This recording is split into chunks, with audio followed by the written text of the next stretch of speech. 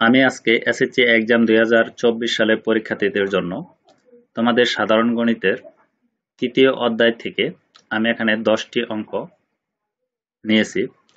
এই দশটি অঙ্ক তোমাদের বিগত দশ বৎসরের বুট এবং টেস্ট পরীক্ষার প্রশ্ন থেকে বাছাই করেছি। এই দশটি প্রশ্ন যদি ভালোভাবে তোমরা সমাধান করো, বুঝে, তাহলে আশা করি তোমাদের টেস্ট এবং তোমাদের যে দুই হাজার চব্বিশ সালে যে বোর্ড পরীক্ষাটি হবে সেই পরীক্ষায় এই প্রশ্ন থেকে ইনশাল্লাহ কমন থাকবে।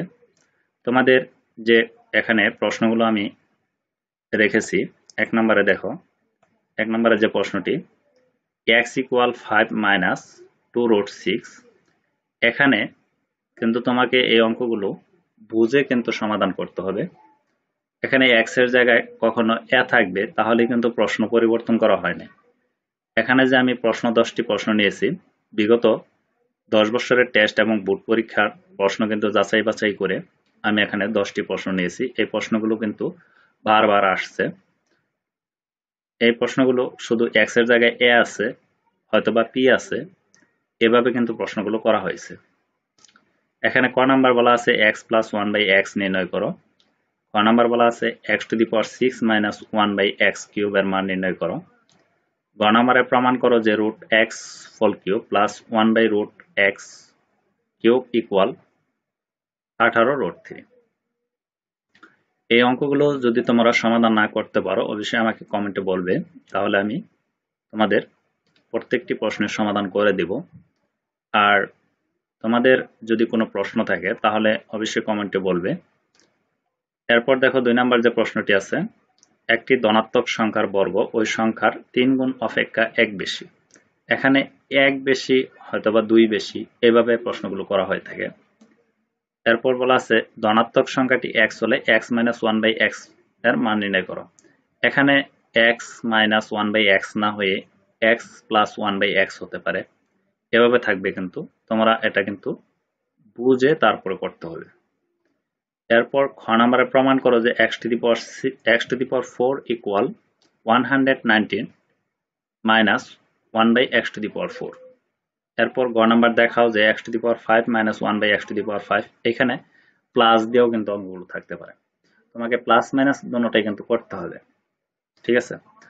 এরপর equal three hundred ninety three এরপর যে তিন নাম্বার প্রশ্নটি আছে, দেখো। X square minus two root six equal five এই মাইনাস টু রুট সিক্স কখনো এই ইকুয়ালের পরও থাকতে পারে। তাহলে কিন্তু প্রশ্ন পরিবর্তন করা হয়নি। এটা কিন্তু তোমাকে বুঝে করতে হবে, কারণ এটা সমাধান করার সময় কিন্তু এই টু রুট সিক্সটা সমান চিহ্নের ডান পাশে নিতে হবে।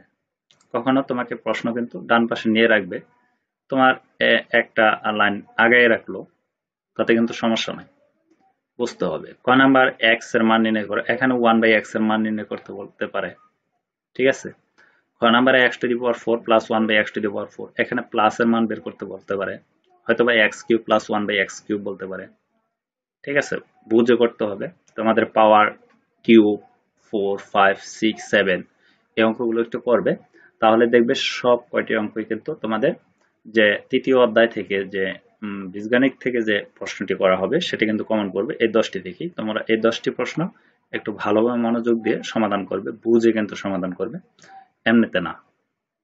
এরপর গ নাম্বার বলা আছে, দেখাও যে x to the power seven plus one by x to the power seven one thousand seven hundred sixty two root three এখানে যে, এই যে দেখাও যে আছে, কোনো প্রশ্নের মধ্যে প্রমাণ করো যে আছে।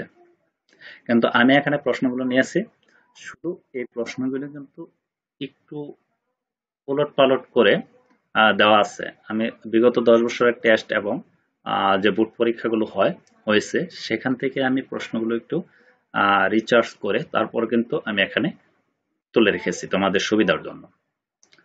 এরপর চার number P square equal nine plus four root five এখানে এক্স স্কোয়ার থাকতে পারে, কোনো সমস্যা নেই, কিন্তু একই নিয়ম।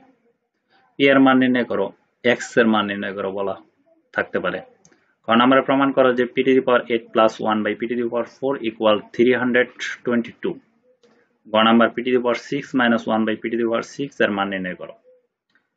এরপর পাঁচ নাম্বার যে প্রশ্নটি আছে P to the power four equal three hundred twenty two minus one by P to the power four এবং পি গ্রেটার দেন ওয়ান আসলে এটা কিছু না, এটা মানে পি এর মানটা ওয়ানের চেয়ে বড়, আর কিছু না। এটা কিন্তু কোনো কাজ নেই। ক number P square plus one by P square এখানে মাইনাস থাকতে পারে। খ নাম্বার এখানে P square plus one by P square হয়তো বা শুধু P cube plus one by P কিউবের মান কত, এটা বলা থাকতে পারে। এরপর গ নাম্বার দেখাও যে P to the power seven minus one by P to the power seven প্রথমে কিন্তু প্লাস দিয়েছিল। এখানে কি? Twenty four thousand four hundred seventy six. ছয় নাম্বার যে প্রশ্নটি আছে যদি A square minus four A minus one equal zero হয়, তবে ক number A minus one by A মান নির্ণয় করো। প্লাসেরও বলতে পারে A to the power four plus one by A to the power four হয়তো বা A cube plus one by A cube এই অঙ্কগুলো তোমরা একটু বুঝে করবে। আর যদি না করতে পারো, আমি পরবর্তীতে কিন্তু এই যে A square A cube A to the power four A to the power five A to the power seven এই অঙ্কগুলো একটি অঙ্কের মাধ্যমে কীভাবে করা যায়, সেই নিয়মটি আমি একটি অঙ্কতে করে দেখাবো। এরপর গ নাম্বার যে প্রশ্নটি, প্রমাণ করো যে A to the power five plus one by A to the power five equal six hundred ten root five সাত নম্বর যে প্রশ্নটি আছে square minus root three A plus one equal zero ওই আগের মতোই এর জায়গায় এ দিছে, দেখাও যে A plus one by A equal root three অঙ্ক কিন্তু একই। খ number A cube plus one by A cube four ছিল, এখন কিউ এর মান নির্ণয় করো। গ নাম্বার প্রমাণ করো যে to the power five plus one by to the power five equal rho minus root three আট number x minus one by x equal to হলে ক number x square plus one by x square মান নির্ণয় করো। খ number প্রমাণ করো যে x to the power four plus one by x to the power four thirty four গ নাম্বার দেখাও যে x cube plus one by x cube ten root two এখানে প্রশ্নগুলো কিন্তু সব প্রশ্নই একই। কিন্তু শুধু একটু মানগুলো একটু পরিবর্তন এখানে টু দেওয়া আছে, কখনো রোড থ্রি দেওয়া থাকতে পারে, শুধু থ্রি দেওয়া থাকতে পারে রোড ফাইভ দেওয়া থাকতে পারে ফাইভ দেওয়া থাকতে পারে, শুধু। শুধু মানগুলো পরিবর্তন হবে, তোমাদের যে অঙ্কের নিয়মটা, সেটা কিন্তু একই থাকবে।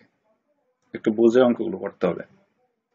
এরপর নয় নাম্বার যে প্রশ্নটি আছে, দেখো square minus two root two minus five equal zero এটা কখনো সমান চিহ্নের ডান পাশে কিন্তু থাকবে, যে square equal to root two plus five অথবা five plus two root two ঠিক আছে? একই কিন্তু অঙ্ক। ক নাম্বার প্রশ্নে বলা আছে এ ইকুয়াল কত? হয়তো বা, বলা বলা থাকতে পারে যে এ এর মান নির্ণয় করো। একই কথা। খ number a plus one by a এর মান নির্ণয় করো। গ নাম্বার দেখাও যে এক কিউব প্লাস ওয়ান বাই এক কিউব আঠারো রোড থ্রি সর্বশেষ যে দশ নম্বর প্রশ্নটি square minus root five a plus one equal zero হলে ক number?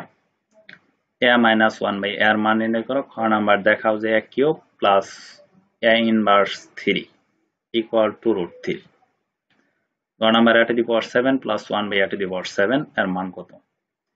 এখানে যে দশটি প্রশ্ন আমি রেখেছি, এই দশটি প্রশ্ন যদি তুমি ভালোভাবে করো, তাহলে তোমাদের যে টেস্ট পরীক্ষা এবং তোমাদের যে দুই সালে যে বোর্ড পরীক্ষাটি হবে প্রত্যেকটি বোর্ডের জন্যই সব বোর্ডের জন্যই এই দশটি প্রশ্ন। আমি কারণ তোমাদের বিগত দশ বছরের টেস্ট এবং তোমাদের যে বোর্ড পরীক্ষাগুলো হয়েছে সেই বোর্ড পরীক্ষার প্রশ্ন থেকে কিন্তু আমি এই প্রশ্নগুলো যে বারবার কোন প্রশ্নটা একটু বেশি আসছে, সেই প্রশ্নগুলো এখানে আমি তুলে রেখেছি।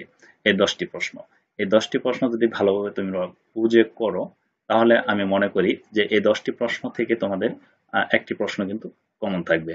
কারণ যে বীজগণিত থেকে যে তোমাদের প্রশ্নটি করা হবে, কারণ এখান থেকে কিন্তু এই তৃতীয় অধ্যায় থেকে কিন্তু একটি প্রশ্ন করা হয় প্রত্যেক বছরই এই অঙ্কগুলো একটু ভালোভাবে করবে।